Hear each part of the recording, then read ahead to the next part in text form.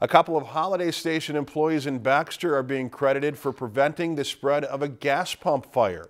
According to the Baxter Police Department, a 55-year-old woman accidentally drove into a gas pump around 2 today and the pump caught on fire.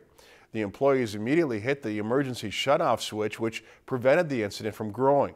The fire was quickly extinguished by the Brainerd Fire Department and it was contained to one pump on the east side of the store. No one was injured, but the damages are estimated at 20 to $30,000. The Baxter Police Department says that they do not believe the driver was on her cell phone and no drugs or alcohol were in her system at the time. The woman does not face criminal charges for the incident.